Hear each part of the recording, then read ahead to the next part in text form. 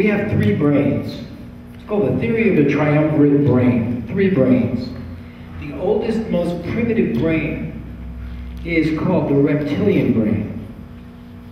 Right now, what is your reptilian brain doing for you? Telling you how tired or hungry?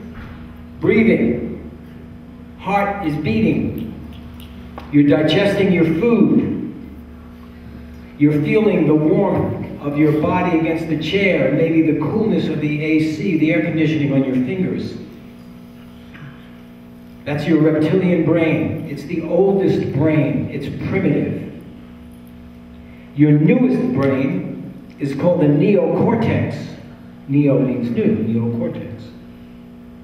It's where your brain allows you to translate some sounds that are do you hear that coming out of my little mouth? You recognize language. You can remember what you had for lunch if you're not too old. You can create and imagine. You know five and five is nine. It helps you understand. That's your neocortex. That's the thinking brain. Most people, when they think of their brain, they think of the thinking brain.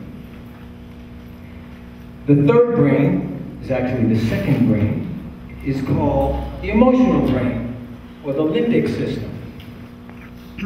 The limbic system lets you know if you're safe or unsafe, loved or unloved, connected or alienated.